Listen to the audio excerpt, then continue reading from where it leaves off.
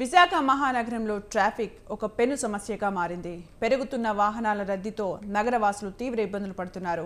సాగర నగరంలో ట్రాఫిక్ కష్టాలకు చెక్ పెట్టేందుకు తీసుకొచ్చిన బీఆర్టీఎస్ ప్రాజెక్ట్ ఆశించిన స్థాయిలో ఫలితం ఇవ్వకపోగా ట్రాఫిక్ కష్టాలు మరింత పెంచింది.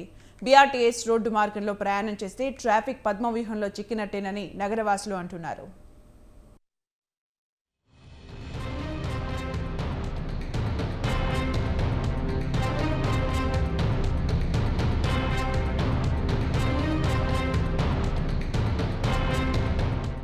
ప్రజా రవాణా వ్యవస్థకు పెద్దపీట వేస్తూ గతంలో కాంగ్రెస్ ప్రభుత్వ హయాంలో విశాఖలో బస్ ర్యాపిడ్ ట్రాన్సిట్ సిస్టమ్కు శ్రీకారం చుట్టారు. జేఎన్ఎన్ యూఆర్ఎం కింద చేపట్టిన ఈ ప్రాజెక్టు కోసం విశాఖలో రోడ్ల విస్తరణ పనులు యుద్ధ ప్రాతిపదికన జరిగాయి.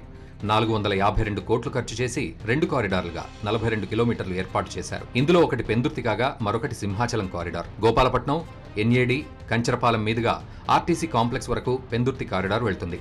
సింహాచలం కారిడార్ వేపగుంట జంక్షన్ నుంచి సింహాచలం మీదుగా హనుమంతు వాక వరకు వెళ్తుంది.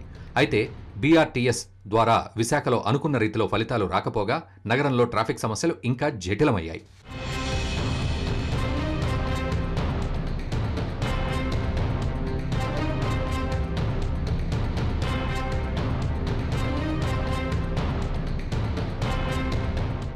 అయితే విశాఖలో ట్రాఫిక్ సమస్యలు నివారించడం కోసం ప్రవేశపెట్టిన బీఆర్టీఎస్ కొత్త సమస్యలు తీసుకొచ్చింది. పెందుర్తి కారిడార్లో పూర్తి స్థాయిలో భూసేకరణ జరగకపోవడం లాంటి అడ్డంకుల వల్ల బీఆర్టీఎస్ నిర్మాణం జరగలేదు.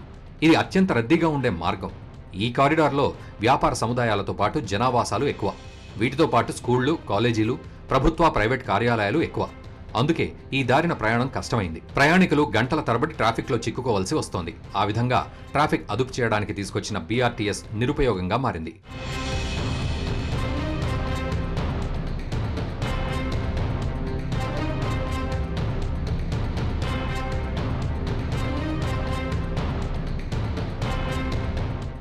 మరో బీఆర్టీఎస్ కారిడార్ పరిస్థితి కూడా ఇలాగే ఉంది.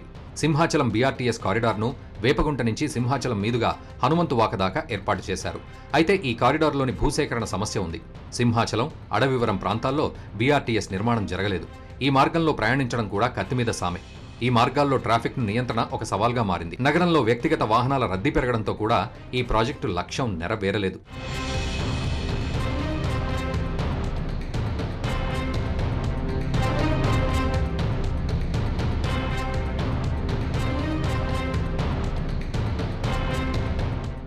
ఇక బీఆర్టీఎస్ రోడ్డు దాటే పాదచారుల పరిస్థితి మరీ దయనీయం.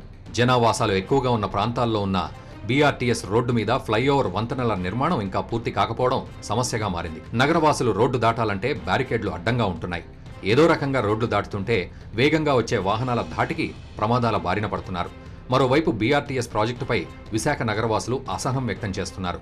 ఈ ప్రాజెక్టు విశాఖలో పూర్తిగా ఫెయిల్ అయిందంటున్నారు అధికారులు స్పందించి విశాఖ మహానగరంలో బీఆర్టీఎస్ మార్గంలో ప్రత్యామ్నాయ ఏర్పాట్లు చేసి ట్రాఫిక్ కష్టాలు తీర్చాలని కోరుతున్నారు. ఈ బీఆర్టీఎస్ రోడ్లు అనేవి అంత ఉపయోగకరంగా లేవు. ఇది దీని డబ్బులు పోయడం తప్ప డబ్బులు వృధాగా ఖర్చు చేయడం తప్ప దీనివల్ల అదనంగా కలిసి వచ్చేదేమీ లేదు అని చెప్పి చెప్పాం. బీఆర్టీఎస్ అంటే బస్ ర్యాపిడ్ ట్రాన్స్పోర్ట్ సిస్టమ్ అని చెప్పేసి ఇది కేంద్ర రాష్ట్ర ప్రభుత్వం తాలూకా ప్రత్యేకమైన బస్సులు ఏవైతున్నా ఆ బస్సులు మాత్రమే అందులో ప్రయాణించాలి. మిగతా వాటికే ఇబ్బంది ఉండకూడదు. టైము ఎవరైతే పాసింజర్స్ ఉన్నారో వాళ్ళకి టైం సేవ్ చేయాలనే ఉద్దేశంతో పెట్టినటువంటి వ్యవస్థ. ఇవన్నీ వెరసి ఉదయం సాయంత్రం సమయాల్లో బీఆర్టీఎస్ రోడ్లు ఉన్న మార్గంలో ట్రాఫిక్ సమస్య వర్ణనాతీతంగా మారింది.